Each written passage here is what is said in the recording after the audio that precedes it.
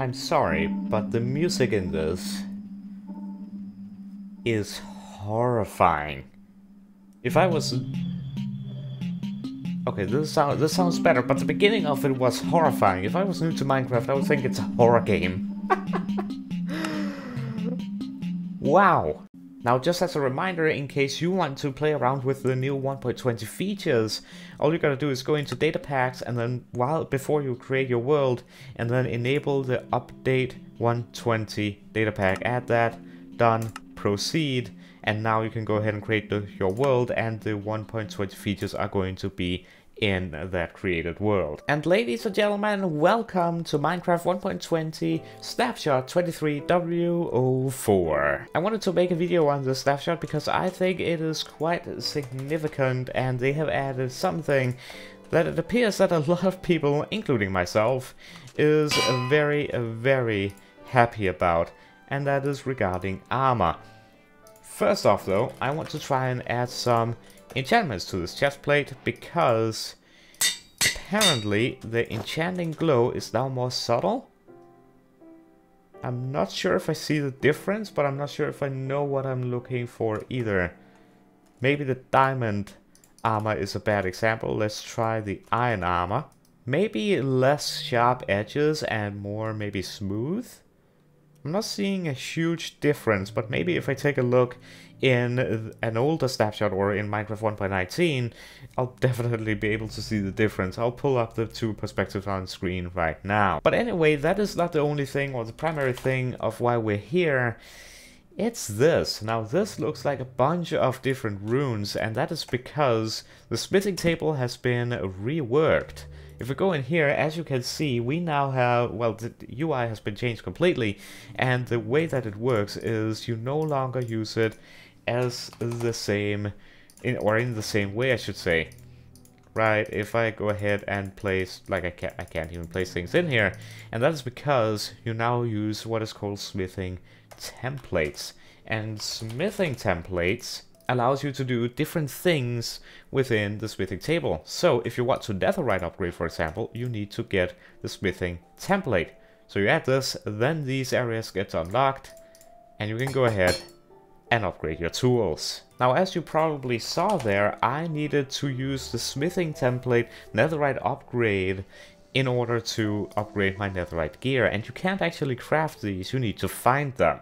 The netherite upgrade smithing template can be found randomly in all Bastion Remnant chests and there's a guarantee of two in every treasure room Bastion Remnant. Now this increases the time players utilize diamond equipment before netherite, because before you could basically get netherite fairly quickly if you got certain things up and going. And like I said in the changelog, it makes the netherite equipment a more significant achievement in the game's progression, and I 100% agree. Now you can go ahead, when you have found a template, you can go ahead and duplicate it just like this and you basically get a copy. Now this is of course expensive as it should be but there you go. So when you found one, if you have the materials to do so, you can get more of them after just finding one. Now, as you probably saw, that is not the only template. There are a bunch of different templates, and as you can see, they are for armor trims. So, if I go ahead and get some, let's get some iron armor.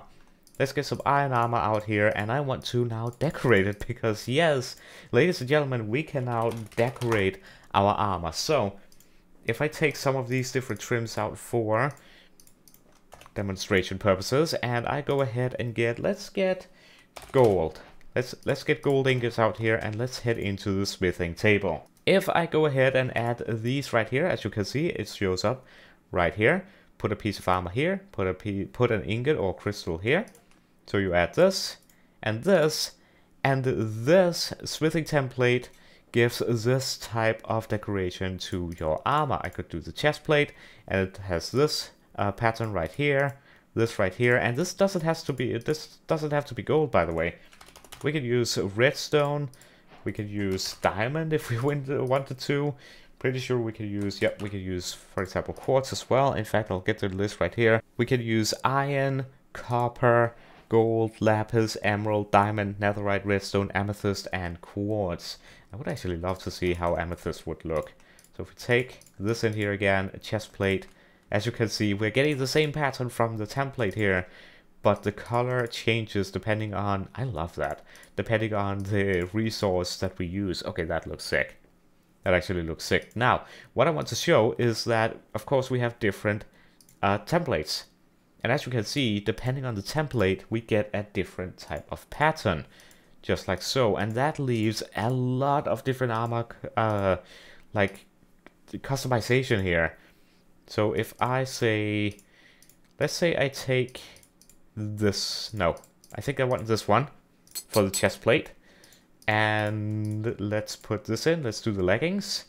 And I think I want some more amethyst because I think it looks great. So, put this in, amethyst. Do I like that? Do I like, I like that more I think. No, that. Alright. And as you can see, there's a bunch of different combinations we could do, and you don't have to do the same color for every piece. You could go ahead and use different colors for different pieces. So let's say I now want my helmet to be gold, because let's say I am uh, on an SMP and playing the role of a king. Okay, maybe I would then use a gold helmet, but still, I can go ahead and change this. And just, some of them are just subtle details, but they're there. Let's say I want a gold one, and let's say I want my boots to be red. But look at the difference here, for example. Huge difference. Just like that. I want these. And just like that, I have customized my armor. I pressed C to zoom in, but I don't have a zoom mod here. I have customized my armor a lot. And this of course doesn't only work with iron armor, it works with all armor except for leather. So if I want a netherite helmet, and let's say I want that pattern, boom, I can have a netherite helmet with that pattern. Only thing to remember is you can't have the armor that you have. So let's say an iron chest plate. You can't have an iron chest plate and then use iron as the material to put onto it. However, if I had a diamond chest plate, if I had a diamond chest plate, I could put iron on it. But I can't put diamond on a diamond chest plate. That wouldn't make any sense. But you can do stuff like this. Nice.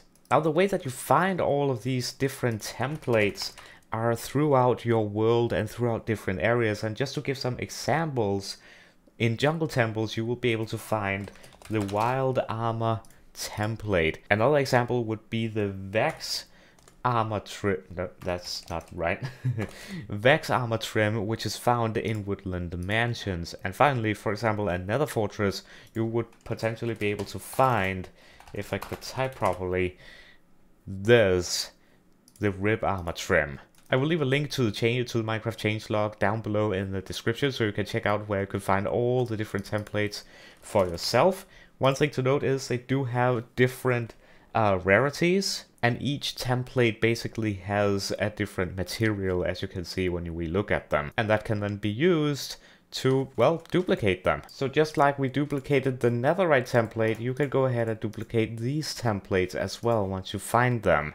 Which of course makes them very valuable if you are in the SMP for example, find one, the other players may not have found it and you can now sell off the template and get quite, probably quite a lot of whatever you use as currency on the server for it. However, keep in mind, some templates are not necessarily found in chests. For example, the Ocean Monument, instead of finding it in chests, pretty sure it's this one, the Elder Guardians sometimes drop a smithing te template upon death. Also, some armor trim smithing templates are rarer than others, so that's a good thing to keep in mind as well. But I think that is pretty much what I wanted to show you in this video. That you can now customize armor.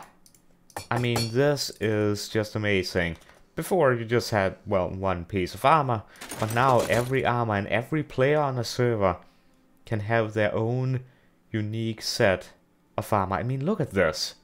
Netherite with green stripes, with emerald, emerald crystals embedded into it. I absolutely love it. So I know this was a little bit of a short one, but that's pretty much all I wanted to feature in this because I thought it was such a huge thing and, well, great thing that Mojang has added and I absolutely love it.